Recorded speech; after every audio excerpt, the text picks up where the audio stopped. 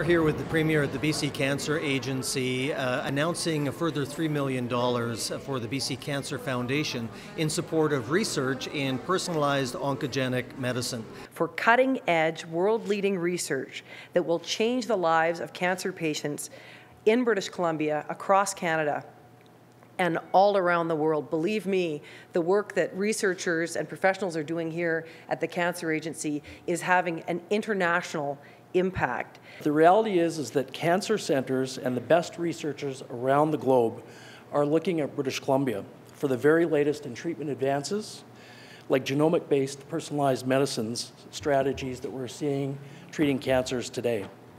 The result is that BC is ranked among the top five places in the world to be treated for cancer. It truly is an exciting time in cancer research uh, when we're seeing breakthroughs uh, in understanding of cancer translating into real improvements for patients with cancer. And you're going to hear a wonderful story about that today. After approximately a year after my diagnosis, I was approached by Dr. Laskin to participate in the POG program. So, one month after starting on this drug, which is just one little pill that I take daily, I had a chest x ray of my left lung to view the largest tumor. Amazed and shocked, the tumor had shrunk considerably.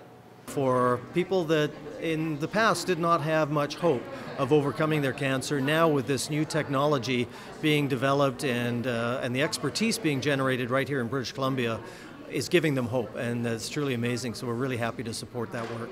It puts British Columbia on the world stage. It saves lives.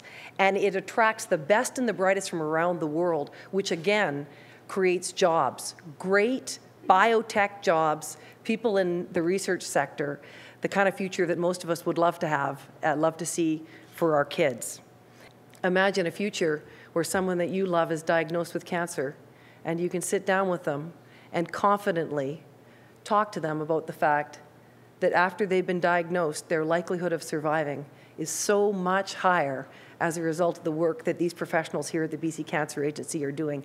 That is the future for people who will be diagnosed with cancer, and it will be a future that is shaped by people right here in British Columbia.